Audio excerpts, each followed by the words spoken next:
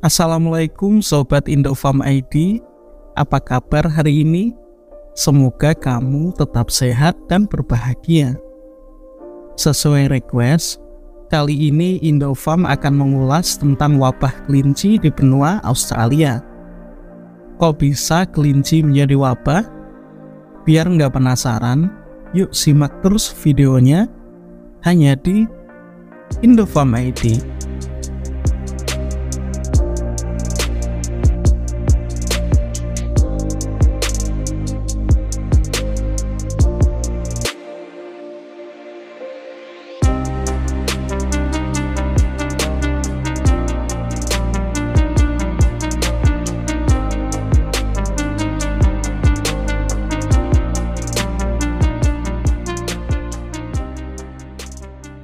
Jika mayoritas negara di dunia selalu berkonflik dengan sesama manusia, tetapi tidak dengan Australia.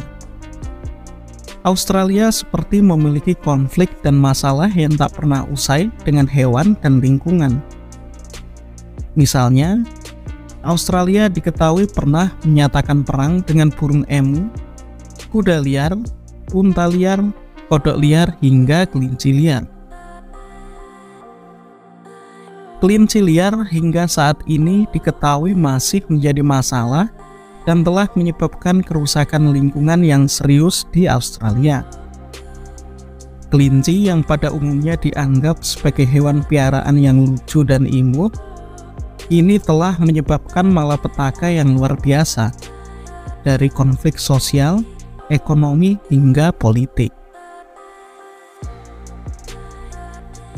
Bagaimana kelinci beranak pinak di Australia.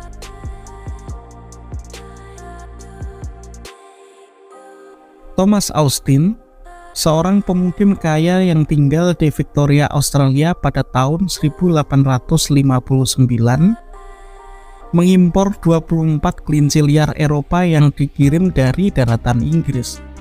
Kelinci-kelinci yang ia biarkan berkeliaran bebas di tanah miliknya itu 50 tahun kemudian menyebar dan menginvasi seluruh daratan Australia.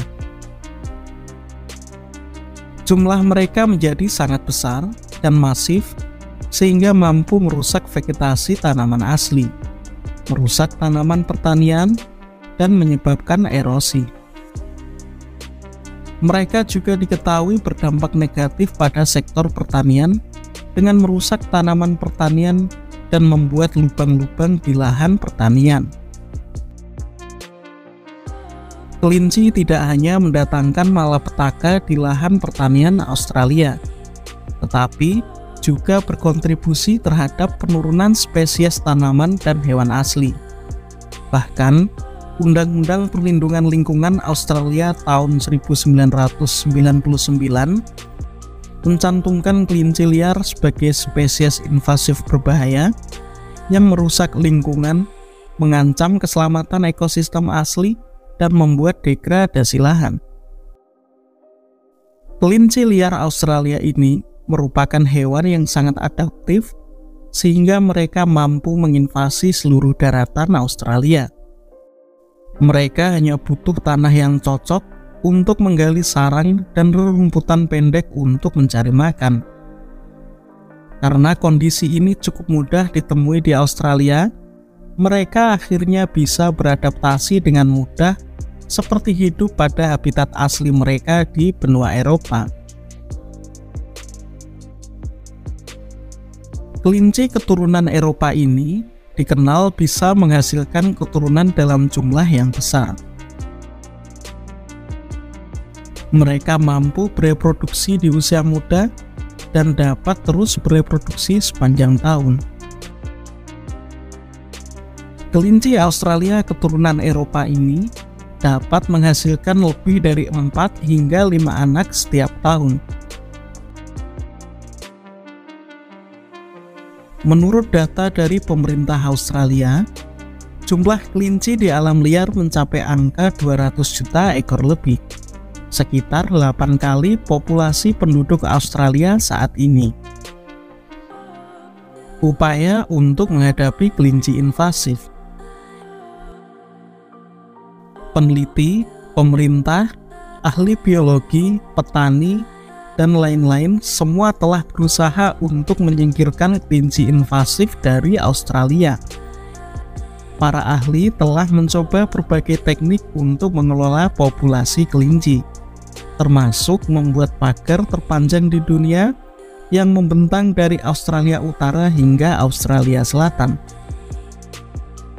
Membuat racun dan membuat patogen ataupun virus yang menyerang kelinci. Beberapa dekade setelah kelinci pertama kali tiba di Australia, mereka menjadi masalah besar bagi para petani. Selain membuat pagar, para petani juga diketahui menghancurkan jaringan terowongan bawah tanah tempat tinggal kelinci dalam upaya mengendalikan populasi. Menghancurkan terowongan atau weren akan mencegah kelinci berkembang biak dan membesarkan anak dengan aman. Pada tahun 1950-an, pemerintah beralih ke biokontrol.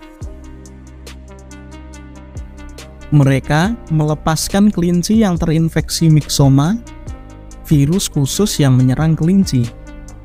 Virus myxoma ini adalah virus pertama yang sengaja diperkenalkan ke alam liar untuk membasmi hewan. Virus myxoma diketahui menyebabkan myxomatosis, penyakit yang hanya membunuh kelinci. Meskipun virus myxoma menyebabkan kematian massal, kelinci Australia akhirnya mengembangkan kekebalan terhadap virus, membuatnya tidak lagi efektif. Selain virus myxoma, Australia juga pernah mengembangkan Rapid Hemorrhagic Disease Virus atau RHDV, virus spesifik yang juga menyerang kelinci. Penyakit ini disebabkan oleh virus RNA yang ditularkan oleh lalat sebagai vektor dan dapat membunuh kelinci dalam waktu 48 jam setelah tertular. Setelah rilis resminya untuk mengendalikan populasi pada tahun 1996, RHDV berhasil menurunkan jumlah kelinci di Australia hingga 90%, terutama di daerah kering. Seperti virus myxoma, akhirnya kelinci juga mulai mengembangkan resistensi atau kekebalan terhadap virus RHDV. Selain virus, racun terbukti menjadi metode populer lainnya. Salah satu bahan kimia untuk digunakan meracuni kelinci adalah sodium fluorosetat yang memiliki angka kematian sangat tinggi, lebih dari 90%. Karbon monoksida dan fosfin juga digunakan untuk mengasapi liang dan membunuh kelinci yang tinggal di dalamnya.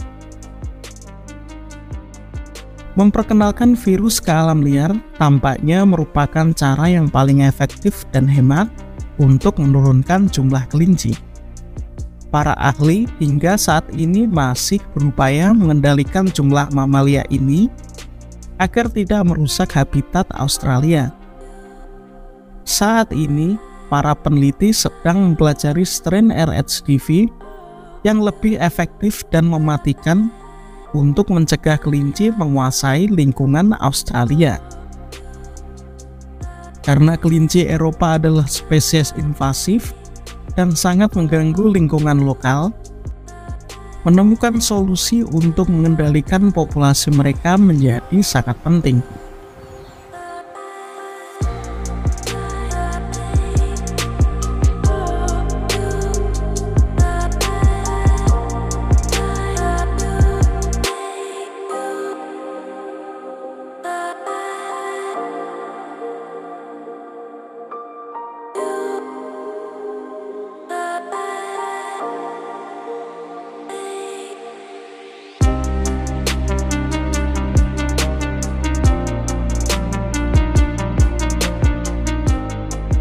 Nah, begitulah bagaimana cara pemerintah Australia menangani wabah kelinci.